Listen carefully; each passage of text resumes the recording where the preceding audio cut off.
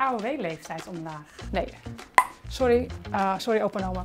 Maar uh, dat gaan we niet doen. De, eigenlijk Nederland wordt steeds grijzer en dat moeten we met elkaar betalen. We moeten wel opletten dat mensen die jong beginnen met zwaar werk, dat we wel zorgen dat zij het kunnen volhouden en dat ze daarin ook geholpen worden op tijd. Uh, een verbod op anoniem twitteren. Oh ja, dat is een goed idee. Vind ik een goed idee. Koud douchen. ja, maar niet altijd. Maar het is eigenlijk wel een heel lekker gevoel als je het toch weer doet. Nee, nee geen verzorgingshuis, wel goede zorg. Uh, gratis openbaar vervoer.